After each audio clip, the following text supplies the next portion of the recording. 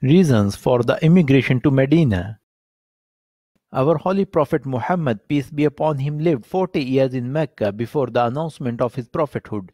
He was titled as truthful and trustworthy, Sadiq and Amin, in Mecca, but when he started the preach of Islam, all of a sudden he started to face difficulties.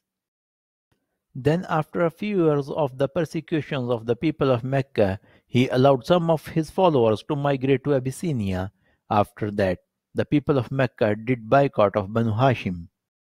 The main aim of this boycott was to stop all of their preaching activities, while in between 620 AD to 622 AD, our Holy Prophet Muhammad, peace be upon him, conveyed his message to the pilgrimages of Medina.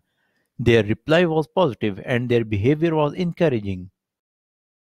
In 622 AD, about 75 men and 2 women accepted Islam and offer refuge our Holy Prophet Muhammad, peace be upon him, in Medina, they assured their complete protection in case of any conflict with people of Mecca.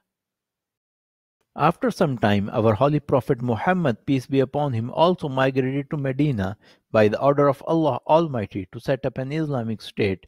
The people of Medina warmly welcomed our Holy Prophet Muhammad, peace be upon him.